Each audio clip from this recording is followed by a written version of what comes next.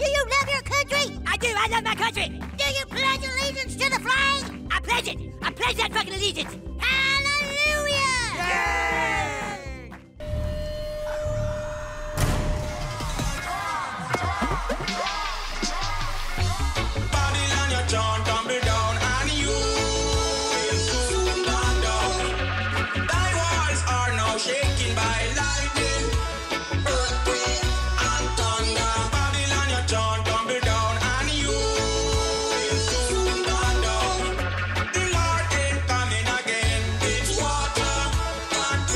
Syria into Turkey, from where ISIS operatives can then possibly move into Europe.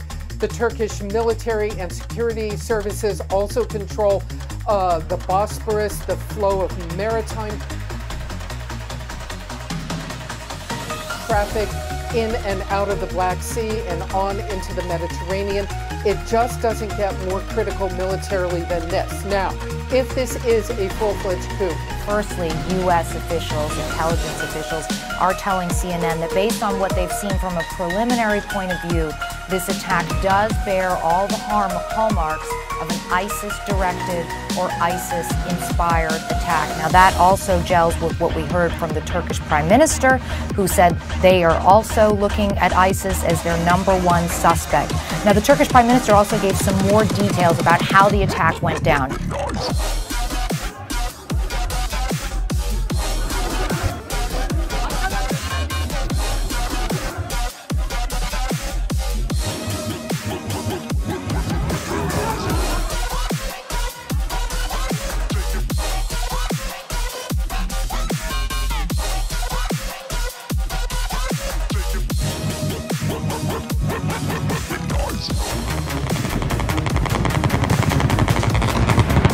11:25 p.m. Friday, local time. The Turkish military says in a statement that it has taken control of the country and imposed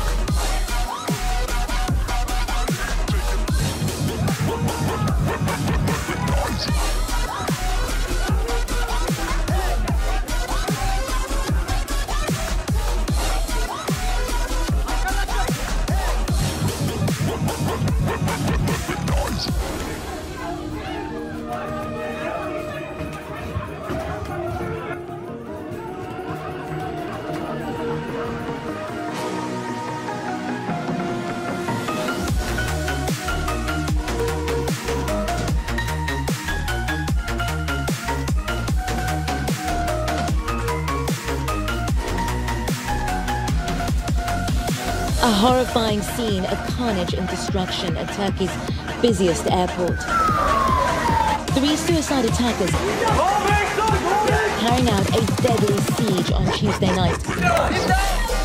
The coordinated attack captured by airport surveillance cameras. I just recognized the gunshots and then heard this huge explosion, and I knew immediately it was a bomb. And I just bolted as fast as I can. Two of the terrorists opening fire at the international terminal before blowing themselves up.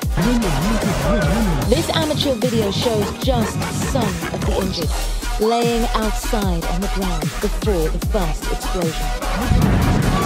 That sound from the first blast by the arrival hall on the first floor. Travelers seemingly unaware of the attack that is about to unfold. Another surveillance video captures the chaos inside as one of the attackers runs into the airport. Then he's apparently shot by a police officer, his gun sliding across the floor. Seconds later, I just stepped off the plane, and as I walked round the corner to where the visas are issued, there's this massive crowd of screaming people, um, and it's just pure panic, people falling over themselves. just stay down there and do our thing. Technically, they really should pack and go. They are not supposed to be dealing and supporting governments of a military coup that takes over by force. Basically, the entire city has been mobilized. People tell me they have not taken a day off in 70 days because they're working their regular jobs and then they're often joining work crews to refurbish different buildings and, and different uh, infrastructure items uh, across the city. So it's, it's really remarkable to see. Why has the Congress been called?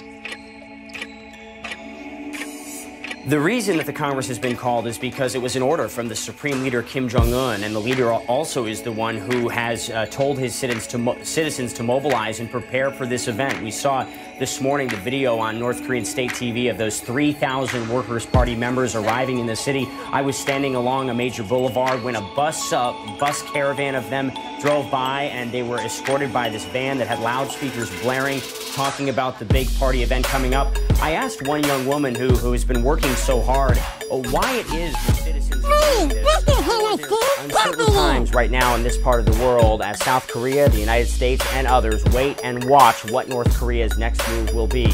Reports coming out of South Korea from the Defense Ministry that North Korea tried on Thursday to launch not one, but two mid range missiles on the same day. One Thursday morning, one Thursday evening, both from the same naval base on the eastern side of the Korean Peninsula. Now, this is significant. The pace that North Korea is attempting to launch these missiles. You'll remember over the weekend there was a, uh, a missile launched from a submarine that North Korea called a success, even though South Korea says the missile only traveled about a tenth of the distance it would have needed uh, to be considered a success. And then you'll remember on April 15th, there was another attempted mid range missile launch that South Korea and the United States also safe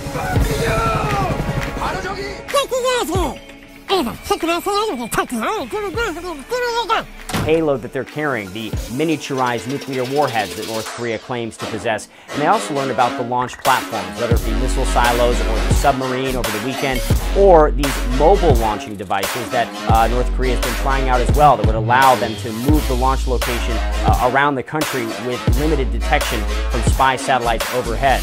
Supreme Leader Kim Jong un clearly ramping up his country's military efforts. In January, he ordered a purported H bomb test. In February, a satellite launch. Then all of these missile launches and projectile launches. And we are just one week away now from perhaps the most important political gathering in North Korea in some 35 years the Workers' Party Congress, the first since 1980 where the young leader is expected to shake up party leadership, consolidate his power, and apparently may be trying to send a message projecting strength ahead of this very important political gathering. What does that mean?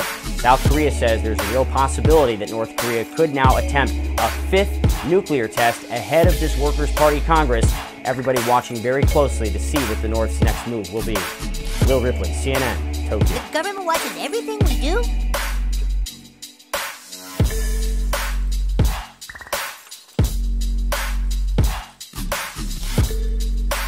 Hello?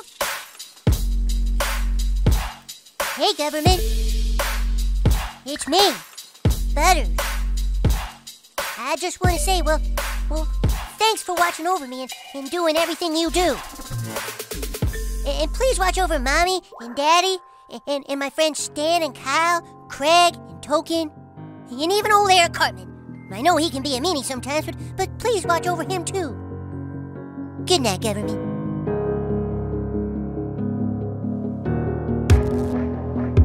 Oh yeah. You, President Obama, for, for making me feel so safe and looked after. And if it wouldn't be too much trouble, I'd really like to get a puppy for Christmas this year.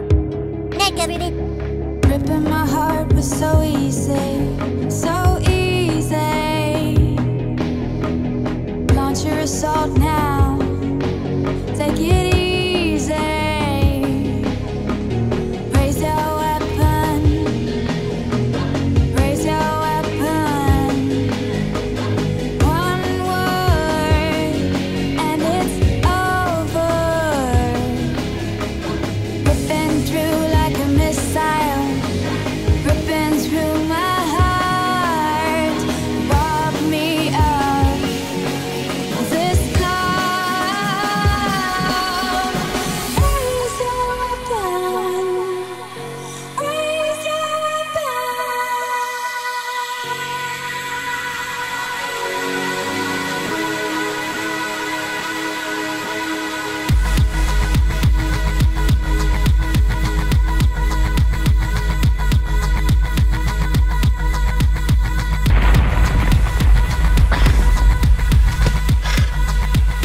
Correspondent Chad Cohen reports, not every scientist is ready to blame just the rock. Some believe the giant reptiles might have been taken down by something almost too tiny to see.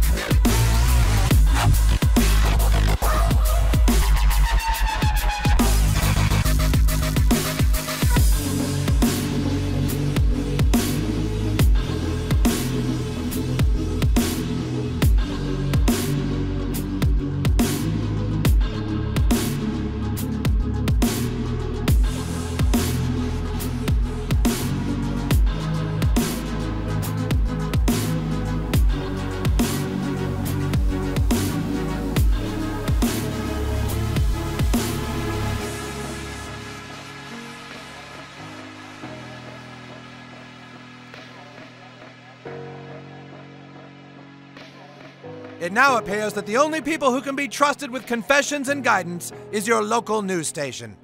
WMZ News will be back in a young boy.